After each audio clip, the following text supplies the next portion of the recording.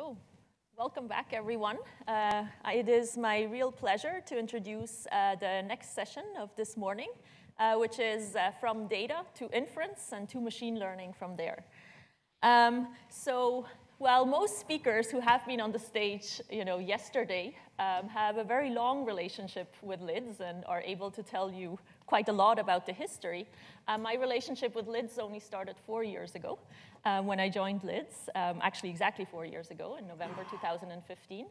And so what I thought I would do as this introduction to this um, session is to give a very brief uh, overview on the very recent past in these four years and maybe tell you a bit about why I joined LIDS.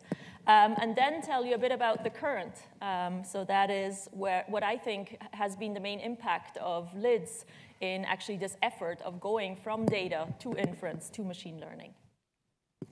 So as I said, I joined LIDS uh, in 2015. Um, and just to tell you a bit about how maybe my research fits into LIDS and what a unique place LIDS is. Uh, so I have uh, undergraduate degrees in biology and in um, mathematics, in pure mathematics. Um, and then I went on to UC Berkeley to do my PhD in statistics. Now, I worked on something which maybe most of you have not heard yet, on algebraic statistics. So that's the use of nonlinear algebra. So a lot of linear algebra has been used in statistics before, if you think of regression, et cetera. But this is nonlinear algebra, or algebraic geometry, or commutative algebra, um, for studying graphical models, um, and in particular also for applications to genomics. So I mean, I was very comfortable in going to, you know, pure math conferences or uh, statistics conferences or also genomics conferences, but really I was quite an outsider in all of them, right? Because um, a mathematician would surely not really consider me a mathematician because I was actually interested in genomics problems.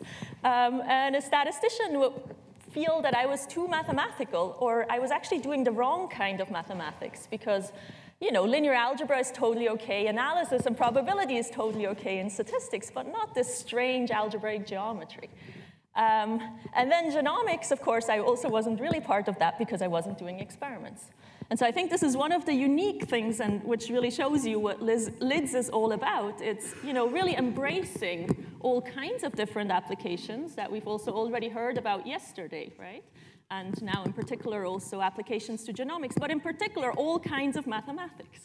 And you know, we have like very, already you know big um, examples from earlier on, and, and nowadays you know if we think of, for example, Pablo Parrilo's research, who has used you know algebraic tools, in particular non nonlinear algebraic tools, for a long time already in optimization. So I think this is really um, what makes, uh, to me, uh, LIDS uh, such a unique place. And um, not being maybe the traditional statistician, I actually found it very exciting and very intriguing um, to you know, see that MIT, who didn't have a statistics department, um, was trying to make this effort, this concentrated effort, in actually hiring statisticians. Um, and I was really wondering uh, to which entity these statisticians would belong to. Um, and Munther didn't talk about this, but um, it was actually quite interesting that they would belong to the entity. Um, so, because for a long time, that was the name of IDSS um, for, you know, maybe um, the lack of a better name, I guess, uh, for a long time. So, um, yeah, so, so I was, let me maybe tell you a bit about the interview. So I was in invited to interviews in February 2015. Um, now, maybe the people who actually live in the area, uh, you might remember winter 2015. Um, so there were big snowstorms all the time.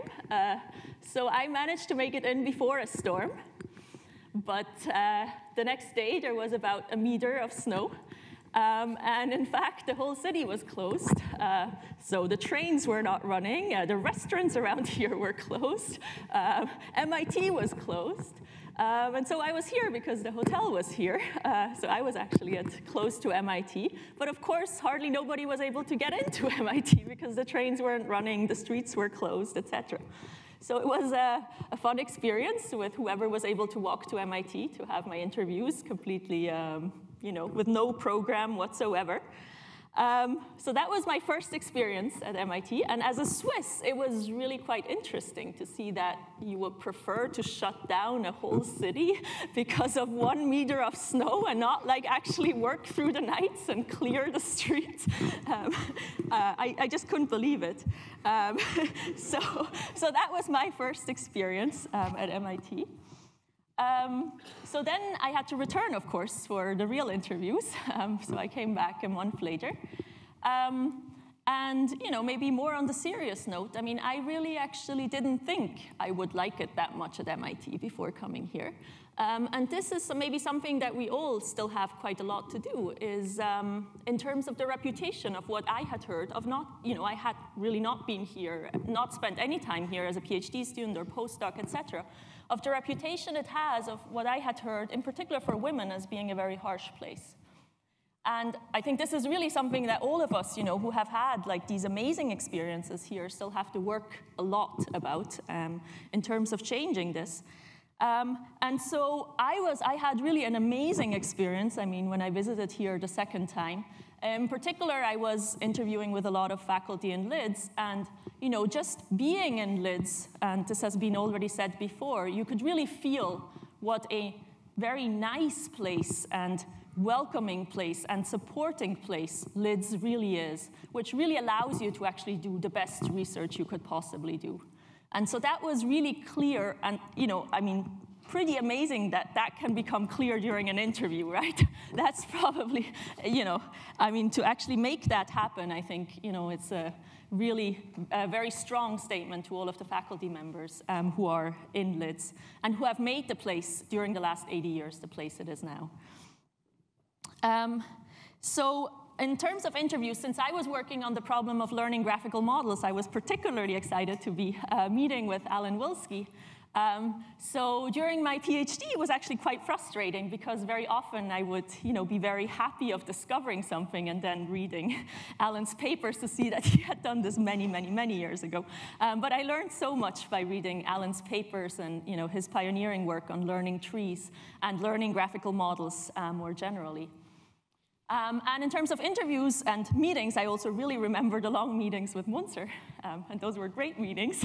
Uh, so where he really told me, you know, gave me kind of the previous, uh, the previous talk that he gave, but in an earlier version of really telling me about the vision um, that IDSS has in building the 21st century statistics. Um, and I think it is extremely fortunate that it was you know, LIDS faculty that were driving the effort of, in fact, building the 21st century statistics and the effort and defining um, what data science is um, now for MIT.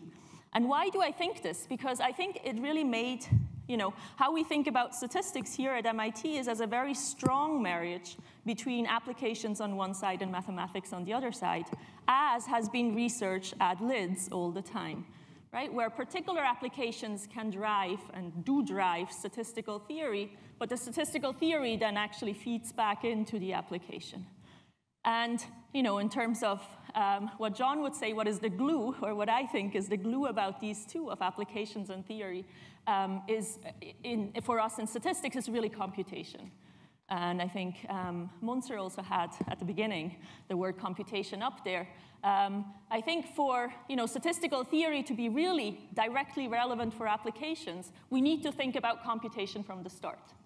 And not having this whole backpack of a traditional statistics department behind us, we were actually able to build you know, a 21st century statistics and data science where we think about computation already when we define the problem. And I think this is really something um, that is unique here at MIT um, in our effort um, of building statistics um, and data science. And I think really also allowed us, and still you know, is allowing us, to be very tightly knit with machine learning right? So if computation is already part of how you think about you know, statistics, data science, then of course machine learning also fits in there and will be very tightly knit.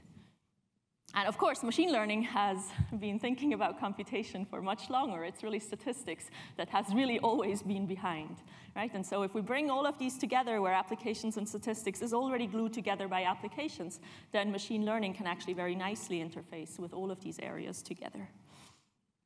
So uh, in my opinion, has had a huge impact here at MIT um, in how it has formed statistics and data science intellectually and culturally, I think. Um, and it is really a super vibrant place today. Um, I think it's a really exciting place to be at. Um, I feel honored um, to actually be part of this effort of really bridging data to inference to machine learning. So I thought this is like just a brief uh, personal state or statement of uh, where statistics is and data science and machine learning today at MIT. Um, and with that, um, I would like to introduce Ahmed Tewfik, who just told me before how I actually rightly pronounce his name, and I hope I did that okay. Um, he will deliver remarks um, on Alan Willsky. So Ahmed, he's a professor and chair of the Department of Electrical and Computer Engineering at the University of Texas at Austin. Um, he received his PhD from MIT under the supervision of Alan, and he has had a really illustrious um, career in academia and in industry. So among many honors, and I will not list them all, he's a fellow of the IEEE. His research is very interesting. It spans many areas, including cognitive augmentation through man-machine symbiosis, uh, medical imaging, brain computing interfaces, et cetera, et cetera. So please join me in welcoming Ahmed.